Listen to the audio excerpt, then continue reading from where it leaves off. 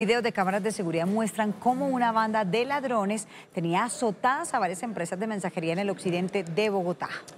Este fue su último asalto. Las imágenes registran el momento en el que intimidan a la cajera para que entregue el dinero y cuando son rodeados por agentes de la SIGIN.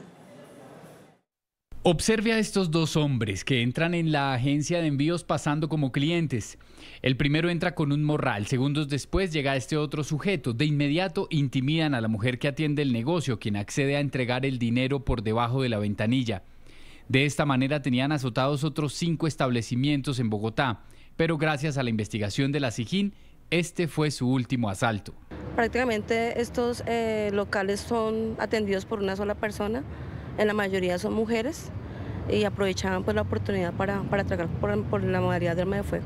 Para facilitar la huida luego de los robos, los ladrones adulteraban las placas de dos motocicletas que fueron incautadas durante el operativo. Las cuatro personas detenidas tienen antecedentes por hurto, porte ilegal de armas y tráfico de estupefacientes.